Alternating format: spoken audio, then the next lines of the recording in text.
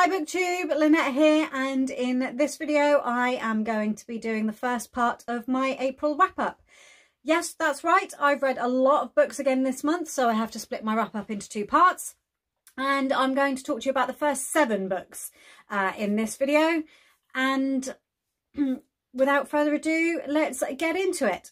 So the first book that I finished was the In Death Read Along pick and that was Portrait in Death by J.D. Robb Again, I've talked about these books so many times that I probably don't really need to go very much into them. Um, it's about Eve Dallas, who is a New York homicide detective set in the late 2050s, and she has to solve uh, a series of crimes, again, series of murders in this book.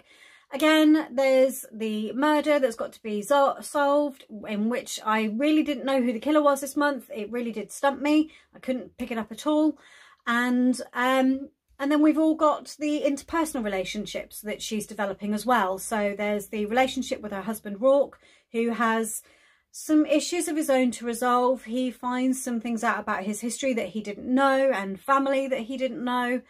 And it's all goes from there and which leads to some great development in their relationship um, and realization of how people can support each other for Eve. It's great growth for her as a person as well.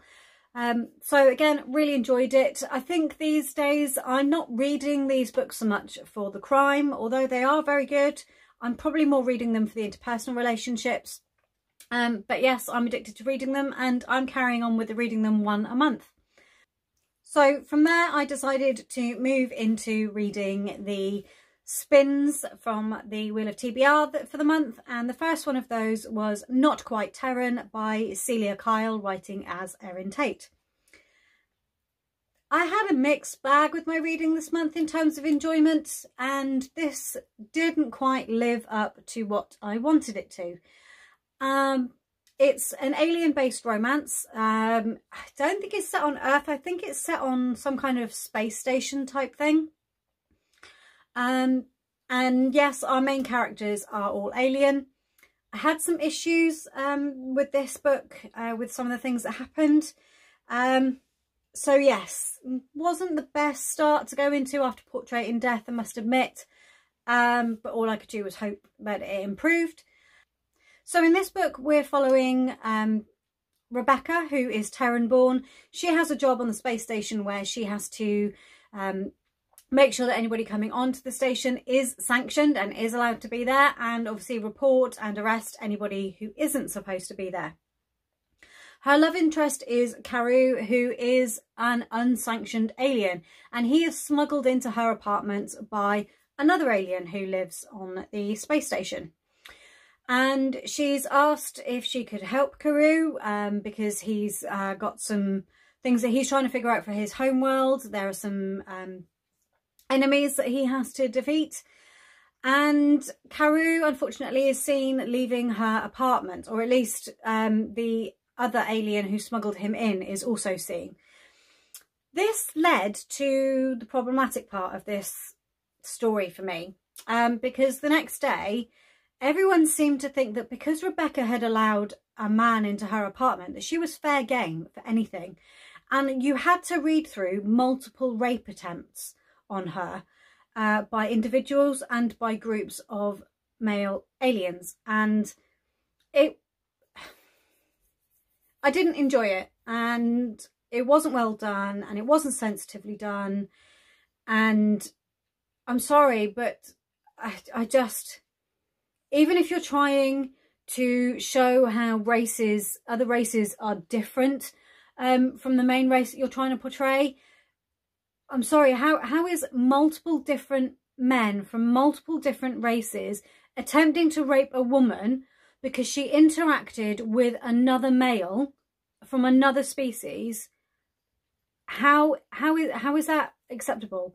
Um, it's not uh, it's not acceptable anyway in terms of the actual actions, but how the author felt that this was acceptable to write and to show and to give a demonstration of how races are different.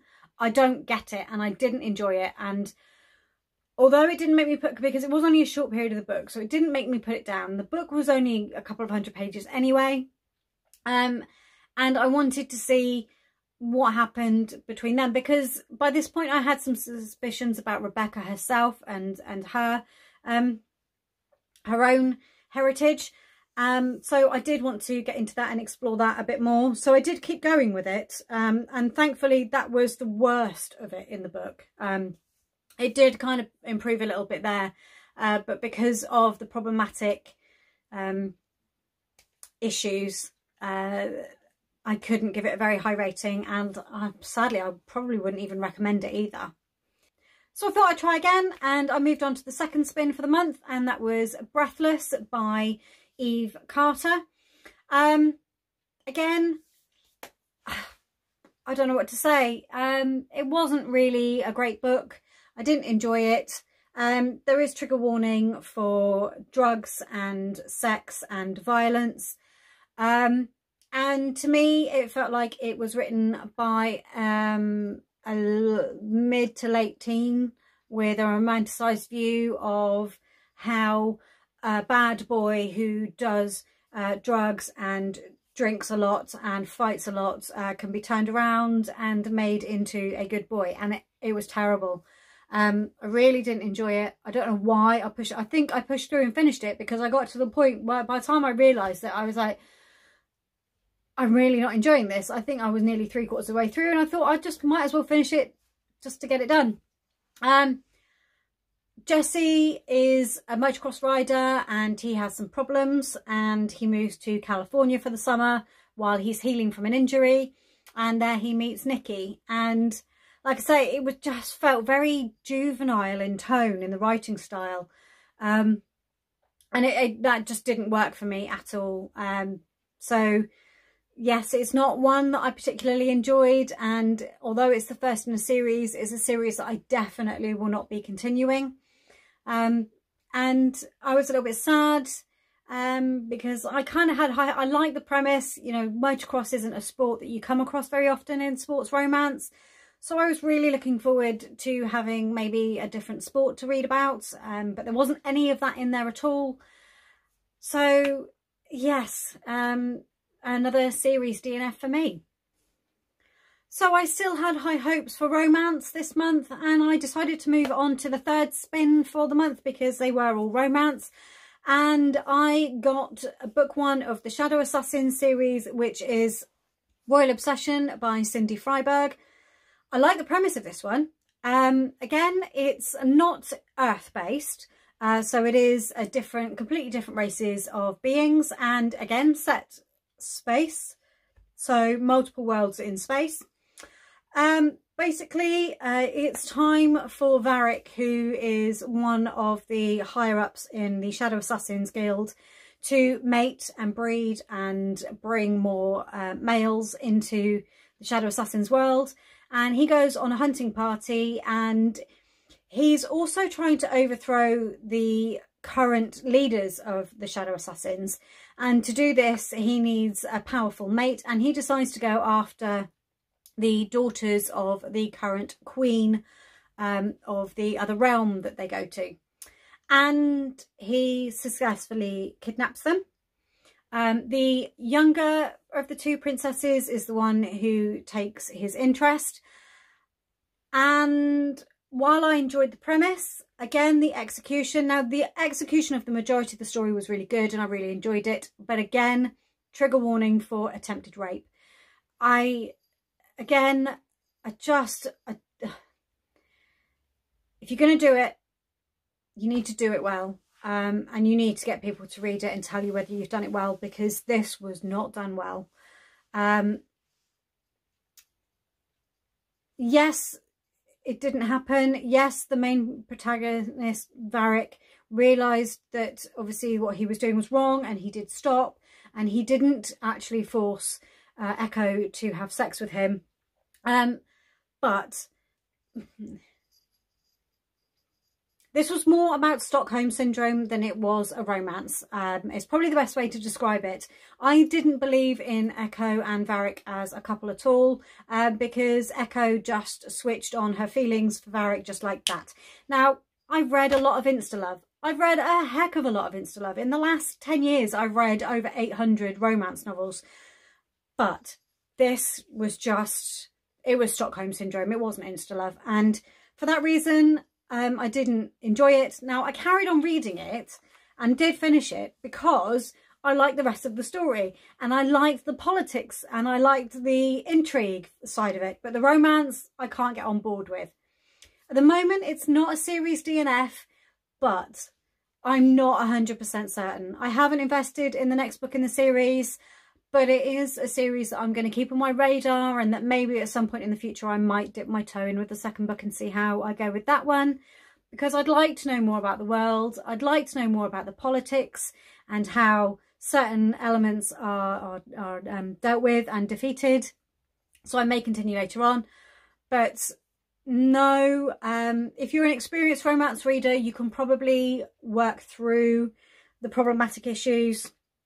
Um, if you're not an experienced romance reader, I wouldn't recommend it because this would probably put you off. Now, the keen-eyed among you might be able to spot what the next three books are before I put them up. Um, but I'm going to talk about them together because I went on a bit of a series binge. I decided that I it was the end of the first week of April. I got through the first four books really, really quickly. Um, and I felt it was too soon because the um, book club chat uh, was for the end of, very, very end of April, beginning of May. Um, I felt it was too soon in the month to read the book club pick. So I decided to try and catch up on a series that I've been reading um, and make a bit of headway into that. And like I say, if you are keen-eyed, you might be able to tell already, but it is the final three books in the Rainwild Chronicles by uh, Robin Hobb. So, book two, um, I read book one, which is here, uh, Dragon Keeper. I read that last year. Um, so I decided to carry on with the entire series. So book two is Dragon Haven. Book three is City of Dragons. And book four is Blood of Dragons. Um, I'm just going to hold up Blood of Dragons um, rather than try and hold up all three. Uh, they're a bit weighty to try and hold together. Um, but I'm really glad that I picked this up. Um, I was kind of in the mood for fantasy anyway after having read three um, romances, two of which were set on another world and another one that was set in the future. So kind of the fantasy elements were what um, drew me in, I think. The entire Rainwild Chronicle series, which these three books belong to, is set in the realm of the Elderlings and the overall series here, which I actually have all of them. Um, I actually have a confession to make. I do have all of them.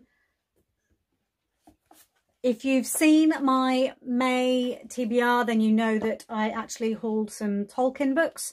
Um, at the same time as I bought the Tolkien books, I bought the Piebald Prince and the Wilful Princess, and I've got that the wrong way round. I do apologise. Um, I haven't read this one yet, um, but I am going to be reading it fairly soon, probably before I start the final series, um, because this actually goes with the Tawny Man trilogy rather than any of the other series.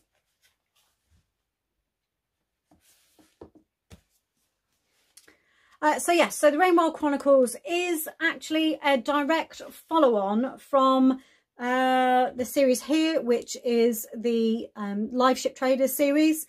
We This time we are set um, in the Rainwilds and we've moved on five years from the end of the Liveship Traders series and I really enjoyed it. Uh, basically, some dragons have been born and they aren't very well and the Rainwild's um, inhabitants want rid of them. So they decide that with a little bit of um, coercion from the dragons themselves to send them upriver to a place called Kelsingra. Now, nobody knows if Kelsingra actually exists. Um, the dragons, it's part of their ancestral memory memories, and they decide to go and hunt for it themselves because if it is, there is the possibility that they will learn to become full dragons while they're there. Um, so these three books um, in Dragon Haven, they've actually set off for that. And in Dragon Haven, uh, City of Dragons and Blood of Dragons, um, it's the continuation of that story. But we also bring in some characters from the Liveship Traders trilogy. uh, because they are needed to interact with the dragons themselves. I really enjoyed it. Um, I love Robin Hobb's writing. I love every, I've loved everything I've read of hers that she's written. Now, I hadn't actually finished this series the first time it came out. I got as far as Dragon Haven. Um, I didn't read past that because I got into a bit of a slump and these weren't books I wanted to read on my Kindle. Um, so I absolutely adored uh, the Farseer trilogy, Liveship trilogy and Tawny Man trilogy, which are the first nine books here. Um, and like I say, I read the first two as they were released in this series and slumped and never went back to it until now. Um, it was a bit of a letdown. Blood of Dragons is the final book and it felt a bit rushed towards the end. Now, I would recommend you read it. I don't know how, if um, any of what's happened um, in this one fit in to the kind of the series that's based around Fitz and the Fool. So, um, Farseer trilogy, Tawny Man trilogy, and then right at the end, um, Fitz and the Fool trilogy. I know the dragons came into it a little bit in Tawny Man, um, but I'm glad I finished it so that I'll know because there were little flashes back to, there was one point where I sat and went, oh, that's so-and-so, and it, it does relate back to the other series, and if you know, you know. Um, I'm trying not to give away any spoilers, but I, I do thoroughly love uh, Robin Hobb's writing. Um, I did decide, though, um, that I wouldn't carry on after this book. Um, I've been told, Tawny Man broke me. I spent the last half of Fool's Fate in tears. I have been told that if I was that badly affected by Fool's Fate, that the Fitz and the Fool series is gonna is gonna definitely break me. Um, so I decided not to carry on. But I'm glad that I can finally say I finished the Rainwild Chronicles and that I will um, be adding these to my some of my best fantasy books ever, although not the best fantasy books ever. So those were the first seven books that I finished in the month of April. Um, let me know down below how you did um, and let me know, did you have you read any of those books at all? What did you think about them? How do you feel about the problematic nature of some of those books that I've read? Um, I'd love to chat to you all down in the comments. So if you've got this far, please give me a thumbs up. If you haven't already, then please subscribe to the channel and I will see you all again in my next video. Bye.